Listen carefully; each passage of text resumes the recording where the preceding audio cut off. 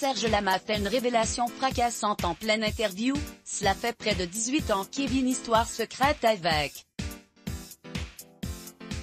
Alors que tout le monde avait retenu son histoire d'amour avec Michel, décédé en 2016, Serge Lama vient d'avouer qu'il a caché 18 ans durant, Loana, l'autre femme de sa vie avec qui il vient de se marier. Oui, oui, vous avez bien lu.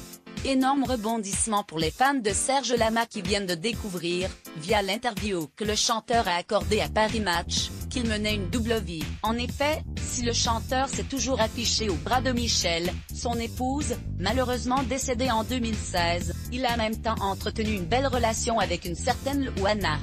Voilà 18 ans que l'artiste s'est rapproché de cette dernière.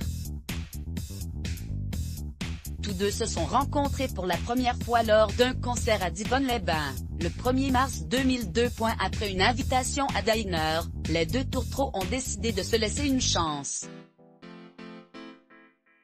Nous n'étions plus ensemble depuis des années. Notre histoire de corps était terminée, précise Serge au sujet de sa Michelle adorée. J'avais beaucoup de respect pour sa relation avec Michel et j'ai toujours accepté de rester à ma place, a de son côté confié Luana. J'étais dans l'ombre d'un grand soleil.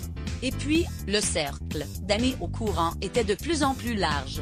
Et comme cette histoire lui a donné des ailes, l'interprète de Je voudrais tant que tu sois là, a décidé de la demander en mariage et l'ex-professeur d'éducation physique lui a évidemment dit un grand oui le jour J. La rédaction